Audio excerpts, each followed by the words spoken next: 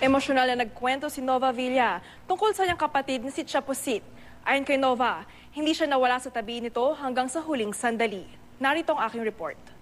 But before the operation, I was able to tell her, Emosyonal na inalala ni Nova Villa ang alaala ng pumanaw niyang kapatid na si Mirna Miranda Villanueva o mas kilala bilang si Chapusit. Mapagbigay sa kapwa at lagi may positibong pananaw sa buhay si Chapusit na pumanaw nitong Webe sa edad na 66 dahil sa hemorrhagic stroke.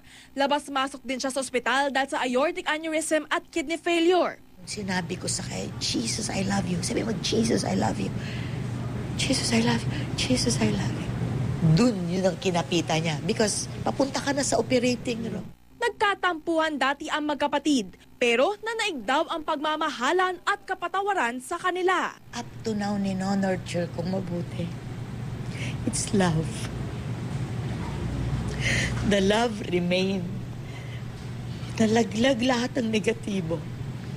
Pero ang naiwan ay pag-ibig.